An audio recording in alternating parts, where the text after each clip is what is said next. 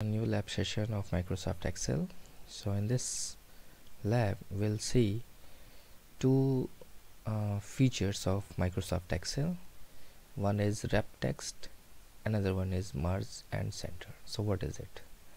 So let's start with the wrap text. So let's see here. This is one cell and in this cell you write it anything here okay? So whatever you write here by default it is coming or by default it is written in a horizontal direction okay? Like if I increase the size so see when you want if you want to increase the cell size you don't have to drag here and there. The moment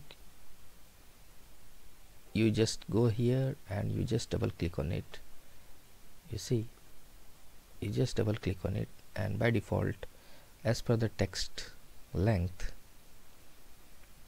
the cell will be resized okay?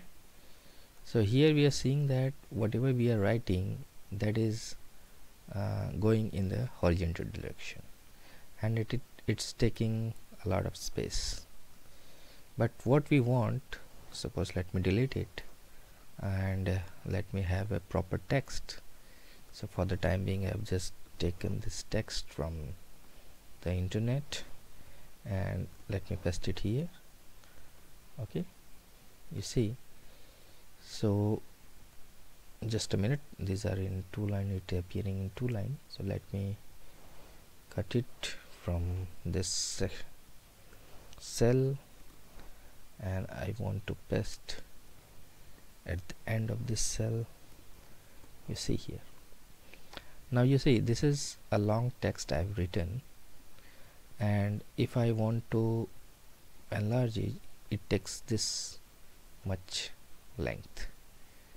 So rest of the cells are unable to see. You are unable to see. Or if you want that this cell size to be reduced and I should be able to use this cell from here and this entire content should be inside this cell so for that we use wrap text okay so what is the use of wrap text? Wrap text help you to merge uh, sorry to wrap the entire text in a particular region you see the moment I click the entire text come inside it. Okay now you see there is a gap at the top. So for that you can set this cell top align so the moment I click it is coming up so what is the use of it? Earlier we were having this. If I increase the size of this cell say it is coming down below. Now I want that this text should be start from the top. So you have to click this top alignment. So the moment I click top align it is coming at the top. And you just double click on it. On the basis of this this will be resized. So in this way you can wrap the text.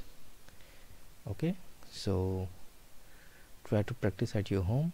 In the next video we'll see what is merge and center. So thank you very much